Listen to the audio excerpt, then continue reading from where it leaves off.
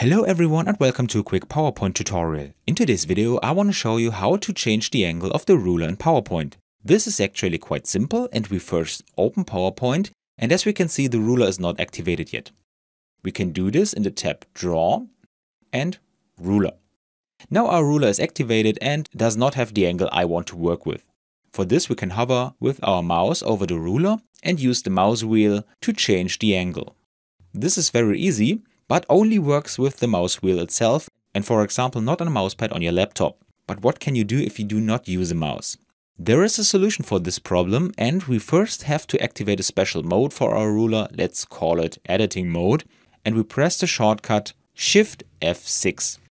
As we can see our ruler became a little bit more transparent to indicate that we are in the right mode now. With our arrow keys we now can move our ruler on the presentation and while pressing the shortcut Alt left or Alt right, I can now rotate my ruler in 15 degree steps.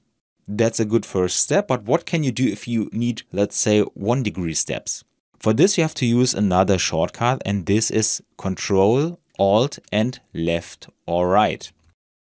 If you use this shortcut, you can rotate your ruler in 1 degree steps.